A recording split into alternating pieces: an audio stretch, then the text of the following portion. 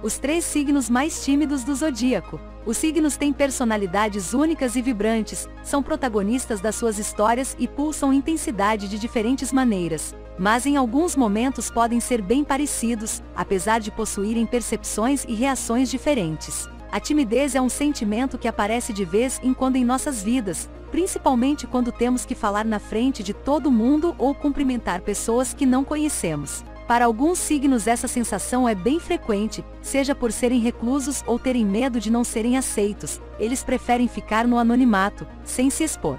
Os três signos mais tímidos do zodíaco. Peixes. Imaginativos, os representantes de peixes são capazes de imaginar realidades com as quais acreditam serem melhores para si, mas quando percebem que nada está indo como planejado, preferem se excluir de tudo e de todos. Além disso, os piscianos são extremamente sentimentais, podem ser magoar com facilidade, outro motivo responsável por serem tímidos e reclusos. Capricórnio. O signo de Capricórnio é um dos mais fechados do zodíaco, pois demoram muito tempo para confiar em alguém. Não gostam de falar sobre suas vidas pessoais e evitam ao máximo se expor diante de uma situação.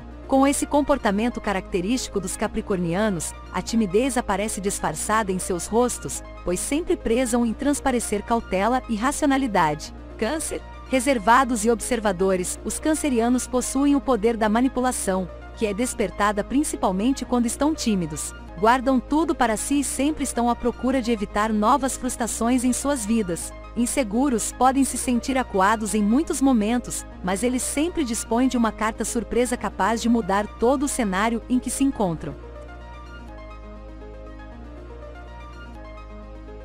A sua vida anda travada, você não consegue parar em relacionamento nenhum, nenhum emprego você realmente consegue ter estabilidade, você só trabalha para pagar boleto, todo mundo fala mal de você pelas costas, apenas pare e pense. A astrologia pode te ajudar, faça seu mapa astral. São mais de 60 páginas sobre você, o seu perfil amoroso, profissional e familiar. Pontos importantes sobre você. Se conhecendo melhor, você pode destravar a sua vida. Conheça a pessoa a quem você realmente atrai e quem realmente você quer para sua vida. Profissão, por que o seu chefe só abriu com você? Se conhecendo melhor, você pode tratar toda a sua volta melhor. Estrava a sua vida com o seu mapa astral. Boleto ou cartão WhatsApp está aparecendo na tela. Eu não sei até quando irá essa promoção. Boleto ou cartão WhatsApp na tela, vá diretamente comigo, astrólogo Maicon, destrave a sua vida com o seu mapa astral. Para, para, para, para, para tudo você gostou, clica no sininho, se inscreve no canal, dá um curtir na gente aí, por favor, se você gostou do conteúdo, siga o 9,